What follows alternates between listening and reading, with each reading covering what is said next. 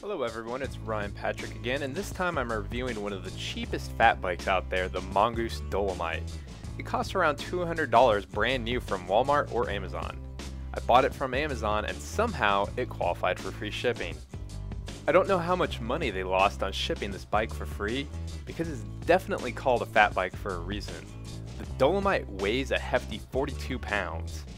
Most of this weight is in the cheap steel frame, and the tires it comes with are also pretty heavy.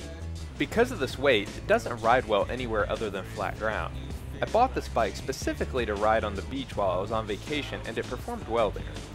When I brought it to the local dirt bike trail though, I suffered taking it up hills because the gearing is far too high.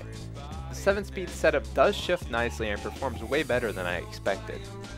While I'm talking about the drivetrain, anyone who purchases this bike should be aware that there is practically no grease on the bottom bracket or the headset. I greased both of these immediately after purchasing the bike. The disc brakes also need serious adjusting out of the box. I tried them before adjusting them and they made this wonderful noise. The rest of the bike is pretty simple. The seat is comfortable and the frame is low enough that people of various heights can ride the bike. In terms of the design of the bike, I like how it looks. Remove those Mongoose stickers and it would look much better. Let's be honest here though, this isn't a normal fat bike, it's a cruiser. Amazon even titles it as a cruiser bike. If you treat it as a simple heavy cruiser, it's not so bad. It worked great for me on the beach, so I really suggest keeping it there. If you've tried out a Dolomite or even just taken it for a spin around Wally World, let me know what you think in the comments.